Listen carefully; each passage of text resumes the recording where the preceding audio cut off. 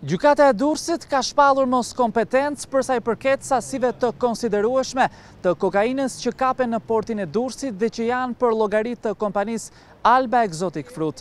Për këtë arsye, ditën e sotme në Gjykatën e Posaçme është rikonfirmuar edhe një herë tjetër për njërin prej të arrestuarve, masa e sigurisë arrest me burg.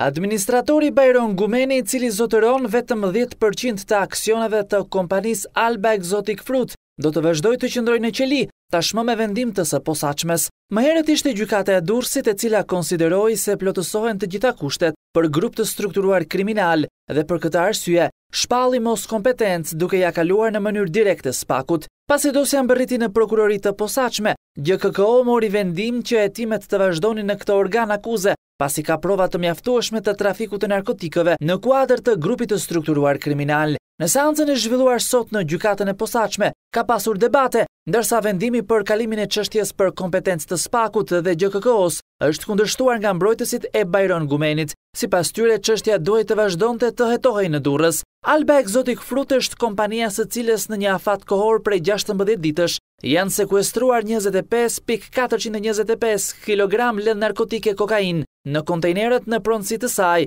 të ardhur direkt nga Amerika Latine, konkretisht nga Ekuadori me destinacion final portin e Durrësit. Në lidhje me këtë sasi kokaine që në datën trembëdhjetë korrik është shpallur në kërkim ndërkombëtar administratori tjetër i kompanisë, Eduard Dauti, i cili zotëron nëntëdhjetë për qind të aksioneve. Policia e Shtetit ka kërkuar ndihmën e Interpolit për lokalizimin e tij. Rreth një vit më parë në kontejnerët e kompanisë Alba Exotic Fruit u kapën dhe u sekuestruan njëqind e tridhjetë e shtatë kilogramë kokainë të ardhur nga Amerika Latine. Sasia e drogës u zëvendësua me oriz në portin e Pireut në Greqi, ndërsa operacioni u prish në portin e Durrësit. Të gjithë këto operacione anti-kokainë udhëhiqen direkt nga DEA amerikane.